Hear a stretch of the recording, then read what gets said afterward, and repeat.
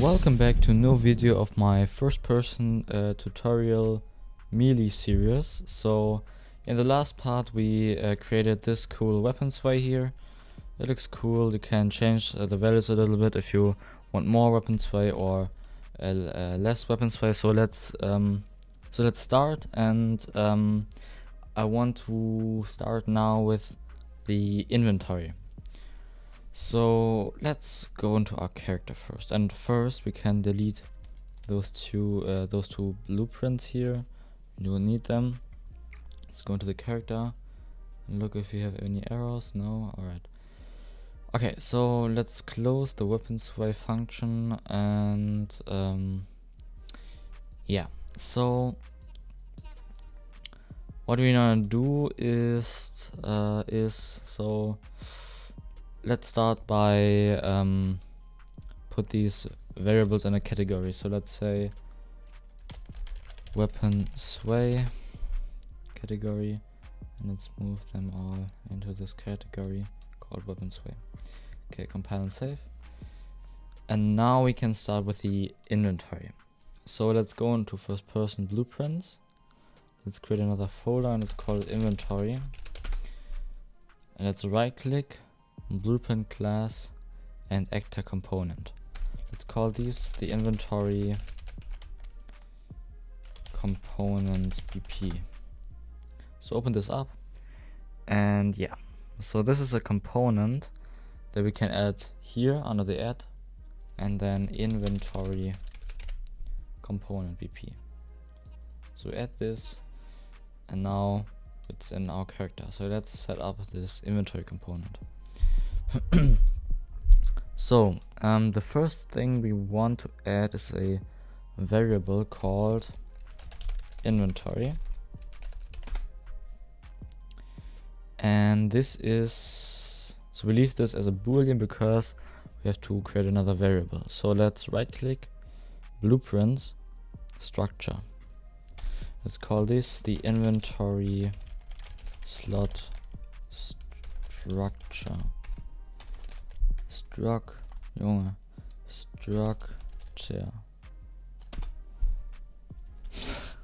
Okay uh, so let's add some variables here. The first one will be the name. This is a name. Um, or let's say a string. Then the thumbnail. If you want a thumbnail for this we say texture 2d another variable the state overlay state. And maybe a description. But let's put this description under the name. And then the item class. This is um, okay. So let's leave this as a actor here. Alright, so um oh yeah, the description is also a string. Okay, so now here the inventory will be the inventory slot com uh, slot structure. Let's compile and save. And here on the right side, we set this from single to array. And now we have an array here, so we can add more slots or delete them all. And yeah. so let's create another variable and call this max slots. And this is an integer and this is not an array this is a single variable. And let's go into the let's create another function call this init.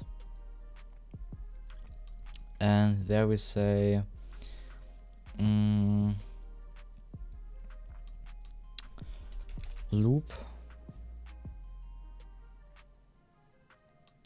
for loop let's say for loop um, the first index is 0 and the last index ist uh, is max slots. Okay, so then um, we grab our inventory, say add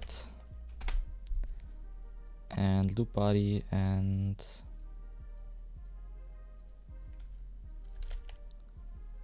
add items. No.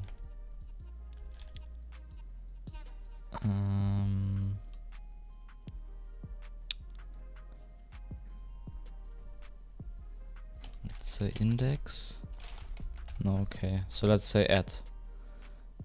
Um, okay. So then let's um, okay. then have a look. So basically when we say max slots 3, then we have 3 slots in our inventory. So let's call this in the event begin play here and save. So you can't see we have uh, new slots here but when we play we will have some slots here. Okay so um then let's do some other things. So let's create some new functions. Call this get slot. The input will be the slot integer then get your inventory oops um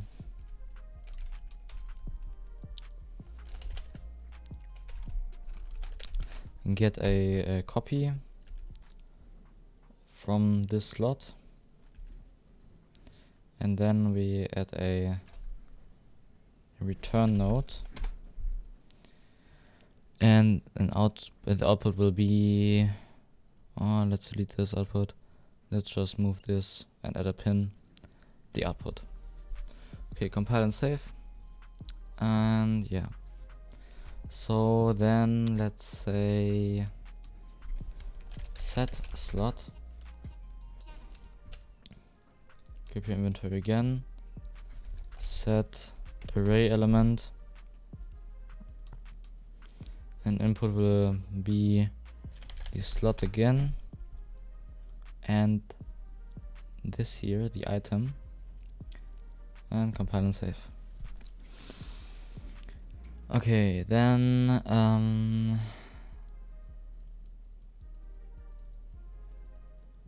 okay so let's let's leave this here. And uh, then let's say let's create another graph here. Let's call this the player input graph. And let's say keyboard 1 let's paste this another time here. Keyboard 1 keyboard 2 keyboard 3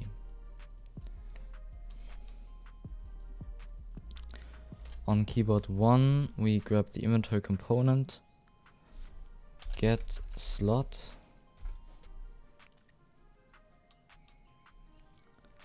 the slot number will be 0 because um, the array starts with the uh, with 0 when we create a new one.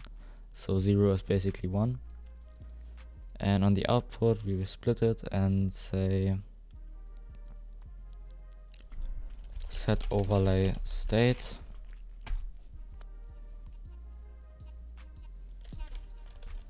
And here on the other ones also just set the slot to 1 on 2 and on 3 we set the slot to 2 so now we set uh, we're setting the overlay state from the advanced locomotion system. So from this blue man here. So now let's um, let's grab our inventory component and just um, add here under the inventory some slots. Or we can basically, we don't really need the initialize function, so let's delete this. Because it's not not that important because we can just create our slots in the character itself. And let's say for the index 0 we say rifle For the one we say default and for the last one we say binoculars just to, to check if it's working. So now let's press 1. You see our character will switch into the weapon, so the rifle. 2, it's will be it will be 0, our default.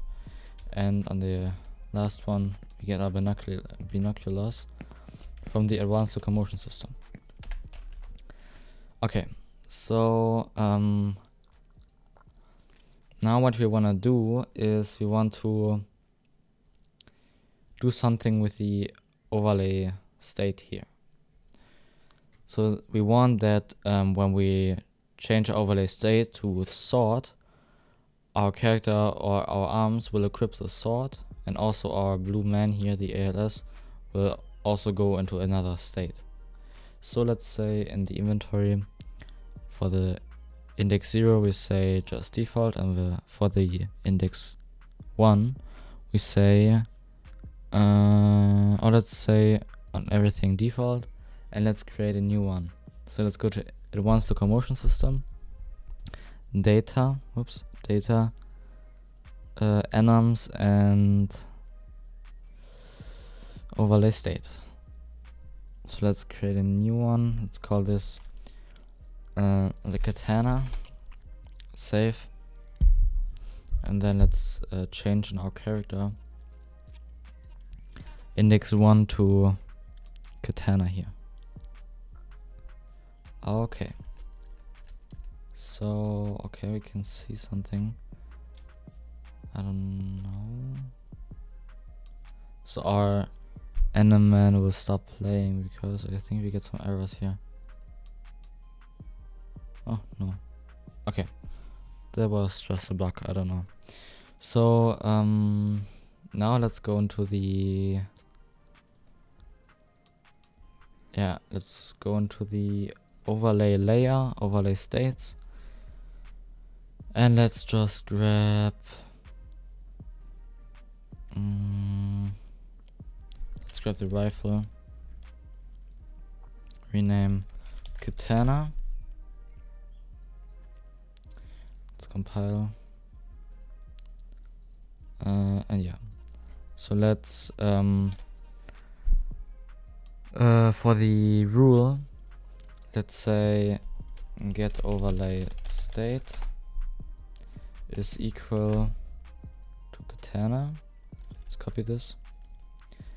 And let's do another arrow here from katana to default here. Uh, like so and just paste this and say not boolean and compile and save.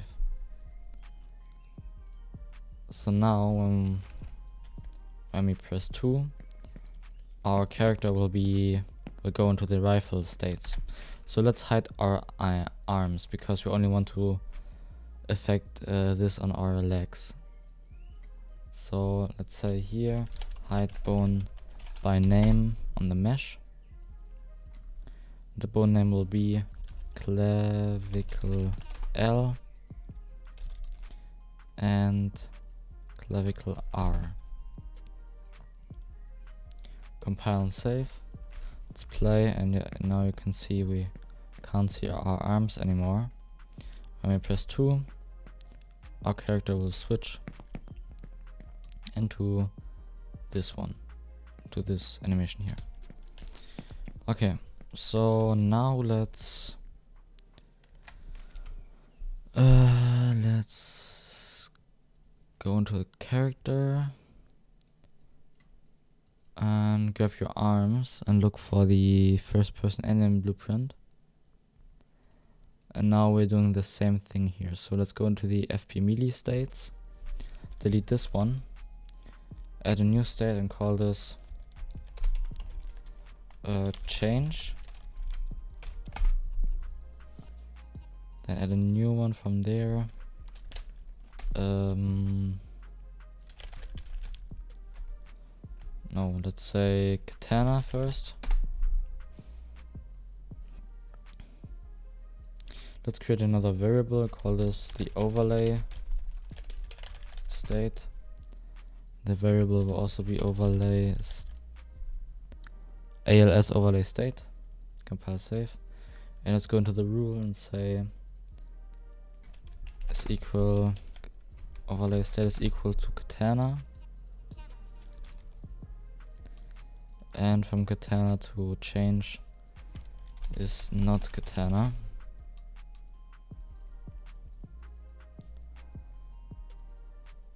Then go into the katana state and add your idle animation here. Compile and save sorry compile and save. And yeah let's save everything here. Save all. And let's have a look. So now you can see we don't have any first person animations. When I press 2 uh, you see we go into the rifle state but our arms won't go into the state because we have to update this overlay state variable in our anim blueprint. So here we already have some variables that we are updating. So let's grab the character reference again get overlay state and then grab your overlay state here and set this. And set this overlay state to the overlay state from the character. Compile and save and now when we're playing and press 2 we will equip our sword also change the overlay state here. Okay, so I think this should be fine for the inventory part 1. So I think in the next part we will go on with this and also in the future we will add some equip animations and unequip animations and attack and block and everything. So yeah, this was the first part of the inventory uh yeah, inventory part of the first person melee series. So yeah, see the see you in the next part and I think we're done here, so have a good day and bye bye.